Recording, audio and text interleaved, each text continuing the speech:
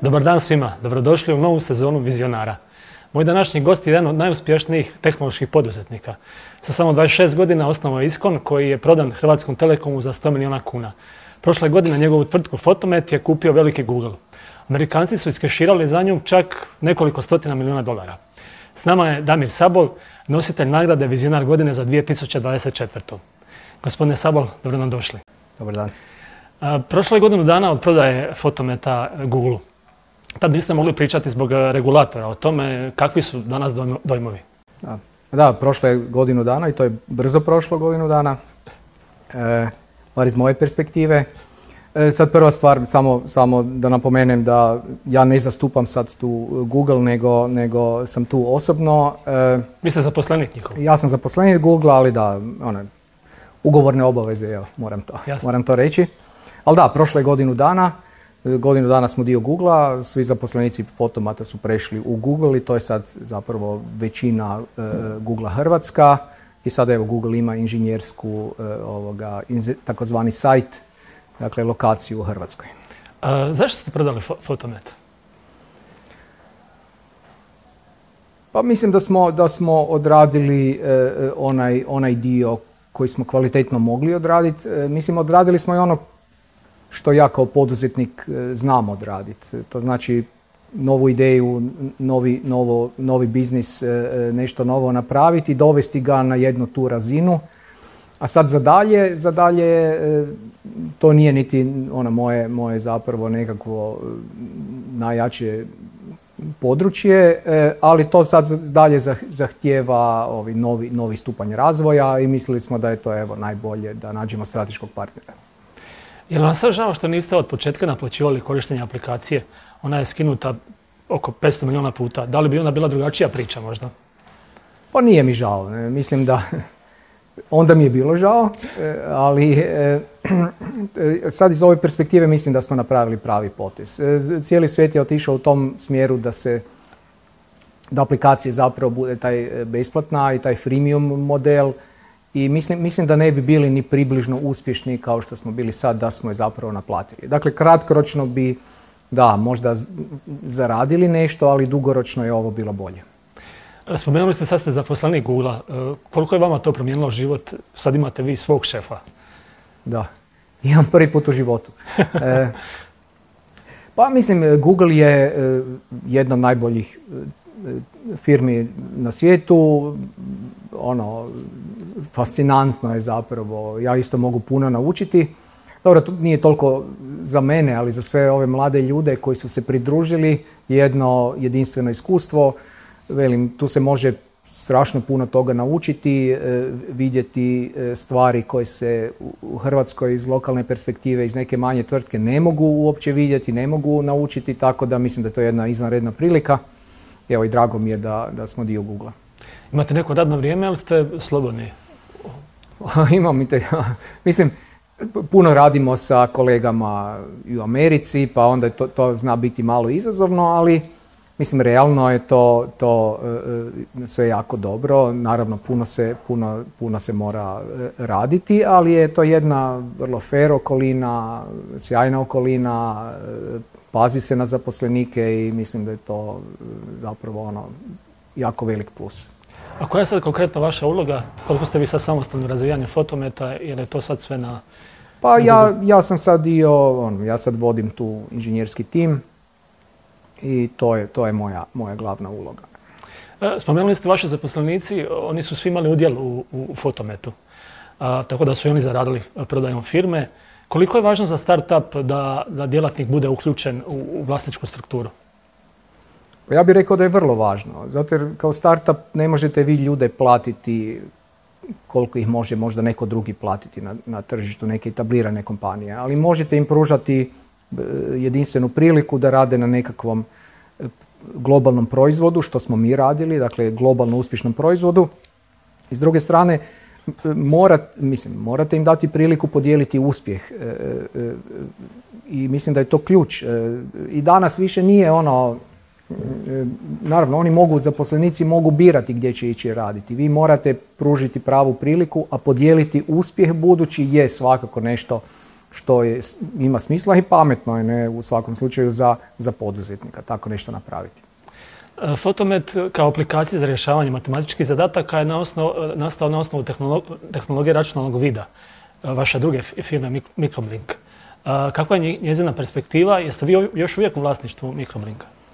Pa nisam, ja sam se, ja sam se tamo potpuno povukao e, prije ove, prije ove transakcije, tako da više nemam zapravo nikakve, nikakve veze e, e, ni operativno.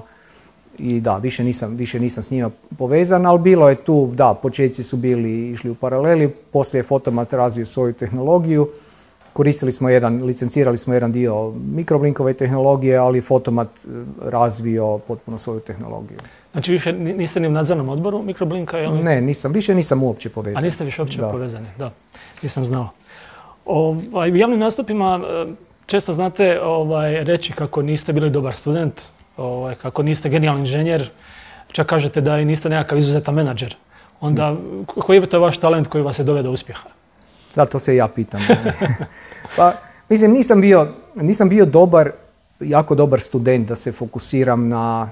Jedan semestar sam stvarno jako dobro odradio, sve petice dobio, onda sam vidio da mogu, pa sam onda postaram. Nisam, nisam, nisam bio, nije mi cilj bio biti e, najbolji student, bilo je naravno boljih, ono, najbolji inženjer, mi imamo danas bolje inženjere nego sam ja, ali razumijem tehnologiju, uvijek sam imao neku želju e, baviti se biznisom, e, e, izgraditi nešto. A mislim da dobro sam vidio neke prilike, mislim da dobro vidim neke trendove, mislim da mogu dobre ljude okupiti, mislim da mogu prema njima se ono fair ponašati tako da oni ostanu dio, dio te priče. I tako da evo to, mislim da onak jedan iskren odnos prema svima i jedan ono zapravo dugotrajni uporni rad e, i to je, to je dovelo do, do rezultata. I mislim, ono, tu su, tu su bili neki iskoraci, ja sam ono, sjeo avion, otišao u Ameriku, e, e, napravili smo te neke stvari, imali smo temelje za dobiti investicije i evo, uspjelo je sve skupa. Sad ste spomenuli investitor, investicije, to je jedna nekakva strana startupova koja se ne vidi. Znači, to je lobiranje, pregovaranje, nekad je to povlačenje investitora za rukav. Kako se vi snalazite u tome? Pa mislim,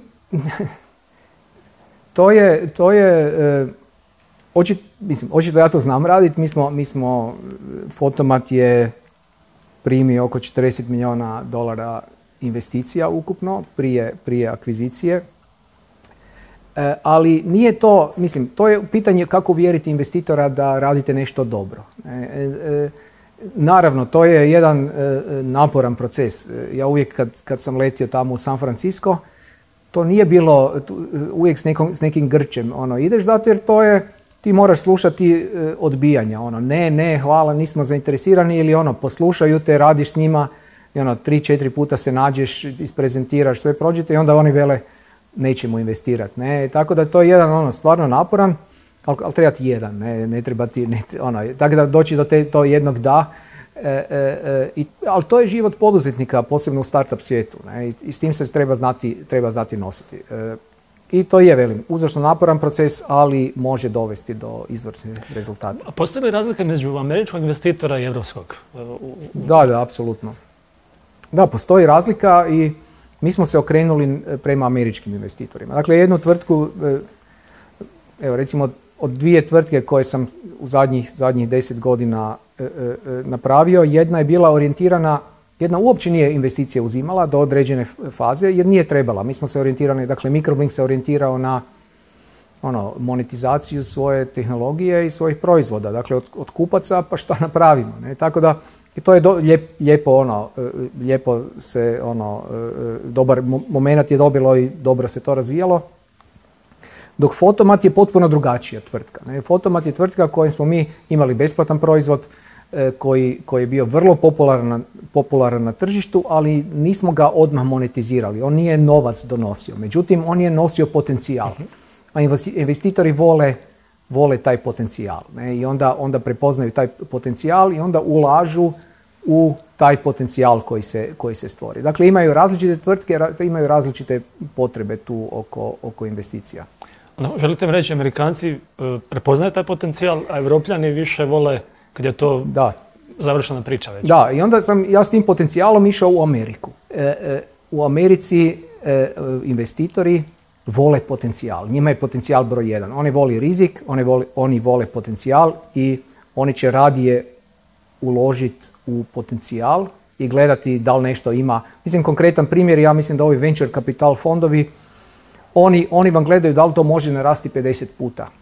Ne 5 puta, čak ne 10 puta, jer to, to nije dovoljno za njihov poslovni model, oni traže 50 puta. I onda nešto naraste 50, 100, 200, 1000 puta i oni tu imaju uspjeh, a nešto ne uspije uopće, ali to nije bitno ako ovo, ovo veliko uspije. E, moje, moje iskustvo je sa ulagačima i to, mislim da je to istina većinom, nije, nije baš pravilo, ali američki investitori vam daju novac da biste uspjeli, a evropski kad ste već uspješni. Ne? I mislim da je to ono, možda ovako pojednostavljeno, ali, ali mislim da je to istina. Zanimljivo je, niti vi niste znali e, što imate u rukama, govorimo o fotometu, niste vjerovali u početku taj proizvod. Pa ja... ne, ja sam pročitao da jedino supruga imala... A ona je rekla da to će, to će svi trebati. Ona mi je rekla pa to će svi trebati. Ne? Ono, e, a ja sam se s kolegom, mi smo se kao kladili koliko ćemo imati ukupno preuzimanja. Ne? On je rekao 50 tisuća, ja sam rekao 100 tisuća. Ne?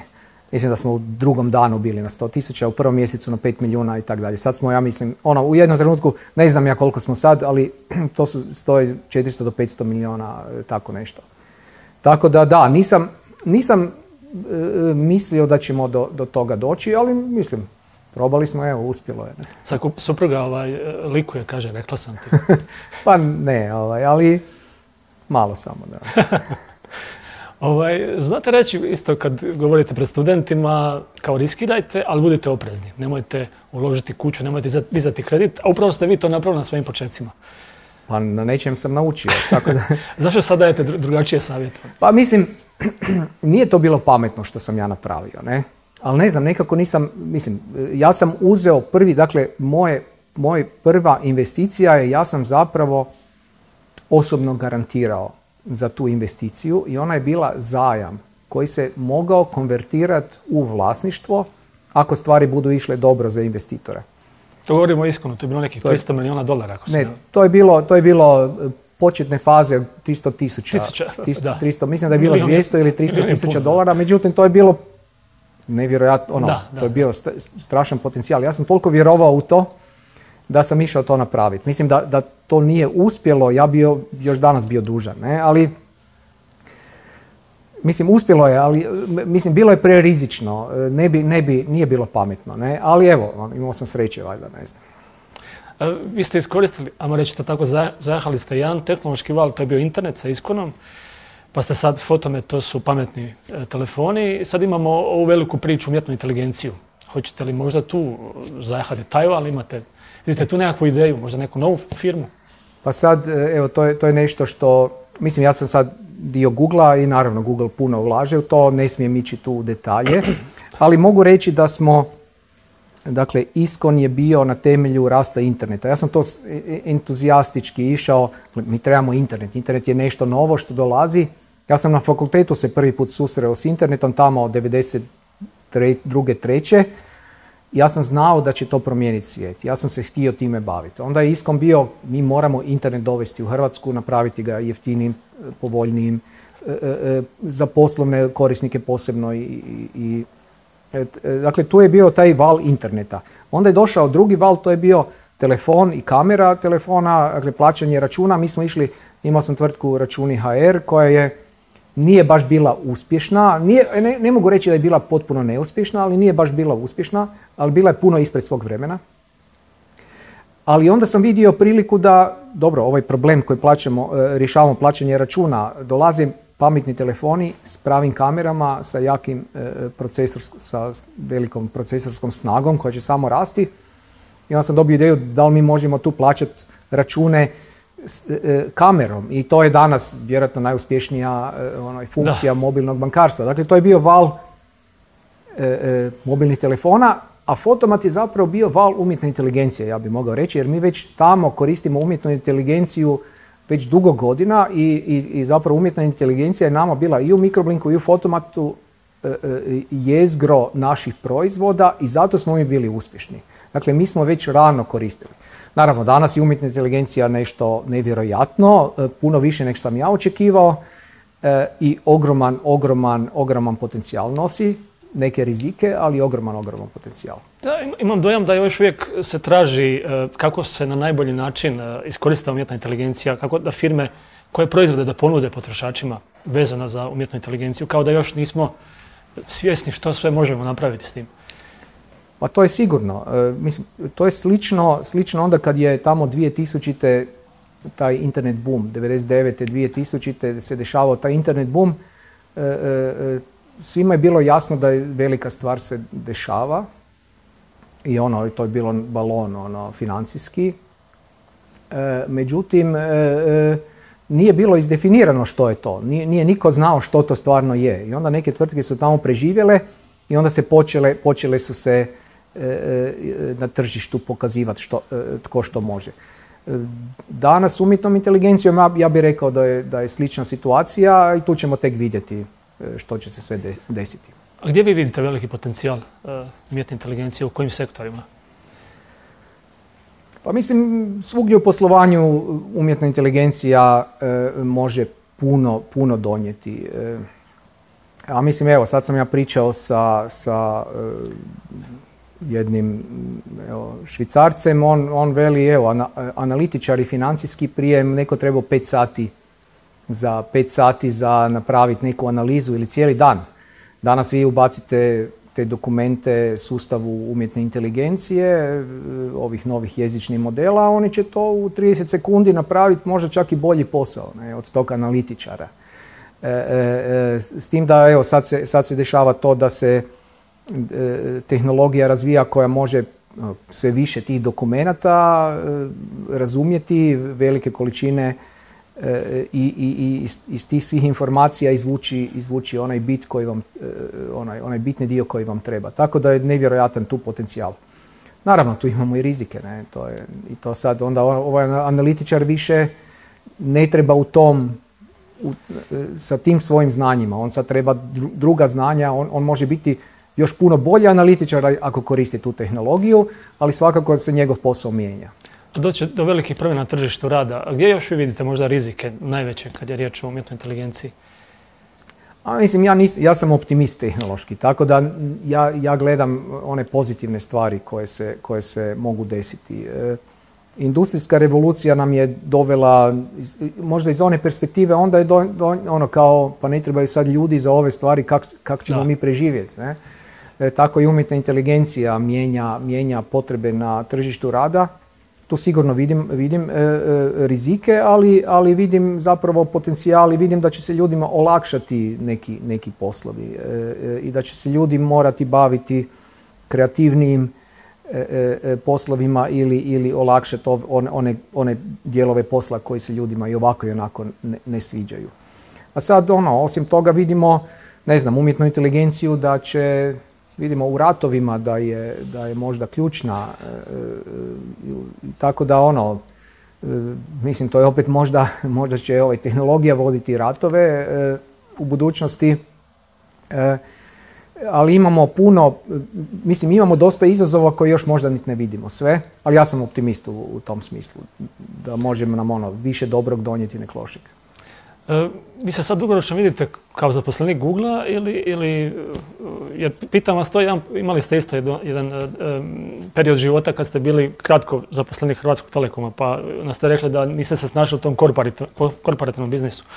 Ovaj, a sad mislite da je to, da je to pa mislim sad nije to, onda ja nisam ni bio toliko iskusan, niti iskreno bio sam ono, to, iscrpljujuće biti poduzetnik to, su, to, su, to je strašno intenzivno, često e, zovu ono, roller coaster, pa raspoloženje se mijenja ono, od euforičnog e, jedan dan do ono, katastrofičnog drugi dan i tako. Ne?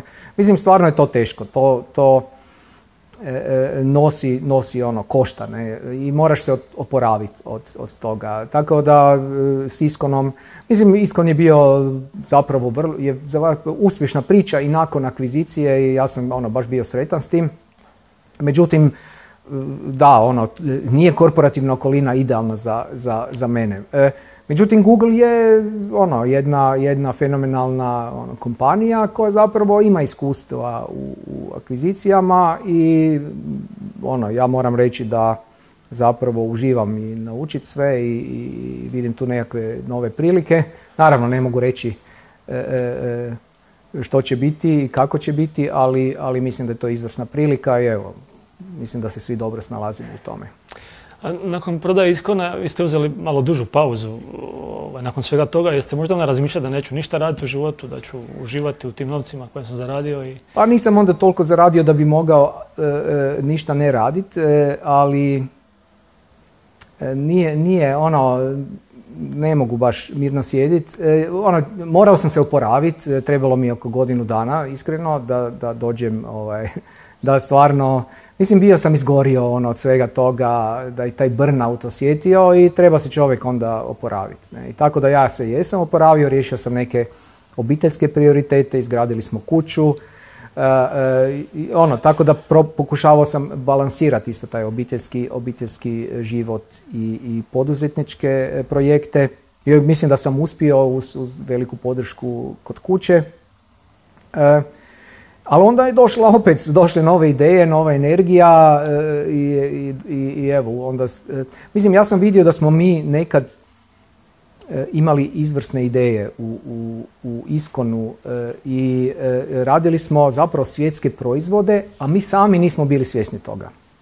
I onda sam znao, mi smo, mi smo tamo radili onaj chat u još 2000. koji je bio iznimno popularan u Hrvatskoj. To, ja mislim da je to bilo tako nešto, ali mi smo to u lokalnim okvirima ostavili, a mogli smo ići na svjetsko tržište, ne? ali nekako nismo to vidjeli. Tako da sam onda ja nakon iskona rekao, pa evo, mi znamo, mi možemo, ja bih želio da probamo nešto ono, na svjetskom tržištu i da vidimo. I ono, možemo. Ne? I uspjelo je tako da, evo, to, to, to mi je bio neki, neki, neki cilj i uspjeli smo u tome. Naravno, to nisam samo ja, to je ta, ta cijela ekipa ljudi koja je tu radila i bez koje to zapravo ne bi bilo moguće. Ali da, mislim da smo, da smo e, evo, bila je to jedna prilika i htio sam jednostavno ono, vidjeti možemo li taj iskorak napraviti. To je dobar savjet za ove mlade poduzetnike, nemojte gledati lokalno, uvijek globalno, uvijek. Pa apsolutno, ne. E, mislim, Hrvatska je teško i zahtjevno tržište. I bila je. Sad, je. sad je već bolje, ali ako uspijete u Hrvatskoj, Hrvatska je dobro mjesto za testirati neke stvari, za isprobati neke stvari. Međutim, svjetsko tržište, danas je, možete na svjetsko tržište. To, je, to, je, to, to nije nekad bilo moguće. Danas zbog distribucije putem ne znam, mobilnih aplikacija, weba, vi možete na svjetsko tržište. Tako da to je jedna prilika i mislim da, da je prilika koju ono, dobri timovi mogu iskoristiti. Mislim, kad je riječ o tehnološkoj industriji, mi imamo tu dobre ovaj, firme, tu su, ne znam, Span, Rimac, Fotomet, Infobip, što nas to čini dobrim? Sad ste spomenuli da imamo dobrih ideja. Jel, jel to stvarno smo mi, ne znam, genijalci pa se rađaju e, takvi ljudi kod nas ili... Pa mislim uvijek da imamo izvrsnih, izvrsnih dobrih projekata i, i ja bih rekao da smo u prosjeku, da nismo, imamo naravno tih, tih projekata što, koji su zapravo fenomenalan uspjeh zato jer nisu nikad dobili investiciju, nego su se digli, to se zove bootstrap, dakle sami na svojim, na svojim e, e, prihodima od, od korisnika. Infobip je praktično se sam digao što je fenomenalan uspjeh, ne? dok njihovi konkurenti tamo milijarde ono, dignuli investicija da bi bili u istoj poziciji. E, Nanobit je bez ikakvih vanjskih investicija. tako da to su a to ti prisili, ona, ta okolina gdje ti nemaš drugog izbora nego, nego e, raditi, graditi i snaći se, e, to, na, to stvara ono, otporne tvrtke, poduzetnike i otporne tvrtke koje, koje onda postižu velike uspjehe. Tako da, ma koliko nam bilo teže, to je nekad i razlog e, za, za uspjeh. Ne? Tako, evo, i to je, to, Ma što te ne ubije, to to jača. Pa mislim da da, ne, da to, to je taj primjer. A što je to, to, toliko teško u Hrvatskoj? Kažete, ovaj, nema investitora ili je zbog regulative ili zbog uh, manjka radne snage ili... E, pa mislim, ja mislim da smo mi uspjeli i usprkos toga i zbog toga što smo iz Hrvatske. Ne? E, nije Hrvatska najlakše e, mjesto za, za uspjeti, za poduzetnike. Ima dosta nerazumijevanja, nije, nije, lako, nije najlakše započeti. U drugim mjestima je, je dosta lakše, bi ja rekao. Nije bilo financiranja skoro uopće, međutim, dosta se toga popravilo. I realno nije, nije, nije to razlog u Hrvatskoj se može uspjeti, velim nije idealno, ali puno se toga popravilo. Ima grantova, dakle bespovratnih sredstava koje se mogu dobiti dosta. E, ima, ima sad investitora više. E, puno se poboljšala to što smo dio EU-a, to je sigurno veliki, velika stvar. E, tako da mislim da onak, ne bi rekao da bi, da bi i, i cijeli sustav nije, nije to prekomplicirano. Ja sam vidio u Americi, veli ljudi, Hrvatska ima kompliciran porezni sustav. To neko može reći ko nije vidio druge porezne sustave, e, e, ali e, da, nije idealno. Recimo, bilo bi super da se može zaposlenicima udjeli jednostavno dodjeljivati. To je isto sad poboljšano, tako da vidim, vidim. Ono, mislim, ja bi isto volim gledati pozitivno. Ono, naravno da možemo naći puno mana, ali, ali pozitivno je mjesto gdje se mogu pokrenuti dobri projekti. Recite mi, vi ste sad imućan čovjek, imate novca, da li se vi igrate s tim novcem? Da li ulažete u dionice, kriptovalute, umjetnine, kupujete vikendice? Pa mislim, ulažem nešto, naravno, e, mislim moram, to, to ne, ne možeš sad, e, inflacija je velika i e, mislim ja, ja isto, sad, ali to je isto opterećenje nekako, ne, ono, mora se razmišljati o tome šta, kako, radim opet neke, neke, ovo, neke nekretninama, se bavim malo za, za vlastite potrebe, isključivo ne, ne za nikakav biznis, e, to nešto čisto izguštva, e, izgušta. Ja volim da nešto napravim ono opipljivo, da se neki dobar rezultat, neka suradnja s arhitektima i tako. E, I to malo ono, onda se doma bavim isto nekim stvarima. Mislim, moj se život nije, ne znam, pečem kruh, pice i tako, ono, dobar sam dosta u tome, mislim. Ali to, ono, nekak imaš, nekako imaš potrebu iz tog nekakvog virtualnog svijeta, ono, nešto, nešto raditi konkretno. Da, da, da, to nešto s rukama i to je onak veliko zadovoljstvo. A, e, I naravno, onda, ono, ulažem, e, kripto je, mislim, ja vjerujem u kripto jako, ali mislim da je to dosta, jako špekulativna stvar, tako da naravno, jesam prisutan malo, ali vrlo malo ali, ali ono strašno je e, e, ono, špekulativna stvar, tako da e, ono, nije to baš racionalna, ali može biti malo iracionalno, to je sasvim u redu. Da, da se malo igrate. Da. A jeste još uvijek aktivni kao poslovni anđeo? Da li ulažete nekakve start-upove ili dajete podršku nekim pa, firmama? Pa jesam, mislim jesam. Nisam baš potpuno aktivan, ono, nisam, nije to moj glavni posao. To je inače posao. Sad ako neko hoće biti poslovni anđeo, investitor, mora se time baviti svaki dan. Ti moraš, ako želiš biti uspješan poslovni anđeo, napraviti 20, 30, 40 investicija. Jer to je isti, ista e, stvar kao venture capital, dakle fondovi rizičnog kapitala. Ti moraš puno uložiti da bi e, jedan do dva projekta bili super uspješni i možda vratili to ulaganje, a ostali su vrlo rizični. To je, to je iznimno. Još takozvane angel, te angel investicije su iznimno rizične. To je najrizičnija stvar koju, koju možete raditi. Tako da to bi bio posao. Ja ne želim i ne mogu, ono, nisam, ja nisam isto jako dobar u tome. Ne? Ali ako se nešto meni svidi, ako vidim neki potencijal, ako vidim da neko mogu pomoći, onda ću to napraviti. Ja sam ono, investirao u neke fondove koji onda, koji onda e, rade to puno profesionalnije. Dakle, mislim da je to puno bolji način, ali nekad ako mi se nešto svidi, ja ću uložiti. A onda imate tu filozofiju kao Amerikanci, vidite potencijal pa uložite ili čekate da se to... Ono ja vidim potencijal, ne, ništa, ne, nema tu čekanja. Tu se ili, kad, ako se čeka je kasno. E, ali nije meni, nije meni cilj tu zaraditi novce. Ja jednako svaku investiciju, e, tu angel investiciju, e, zaboravim, pre, prekrižim, ono, kao zato jer ono, lakše je tako. Ono, ako bude nešto super, ako, ako ne bude ništa, onda je, onda je zapravo praktično i očekivano da ne bude ništa. Tako znači, da, sad ste vi taj koji vuku za rukave i... Pa mislim, ne, ne vuku me toliko, ali volim ja pomoći. E, e, mislim da je to moja isto neki način da vratim malo zajednici. E, volim tvrtke ono, poslušati, nove projekte, probati pomoći, nekako malo ih usmjeriti, a u krajnjem slučaju ako, ako mislim da je, ono, da je dobra, možda kombinacija prilike ili nešto gdje bi bilo dobro pomoći, onda i investiram. Evo za kraj još jedno pitanje koje nema veze sa tim čim se vi bavite. Što kažete na Baby Lazanju i na Euroviziju? Ste gledali? Pa ja pogledam malo, meni je to zanimljivo. Ovaj, e, e, e,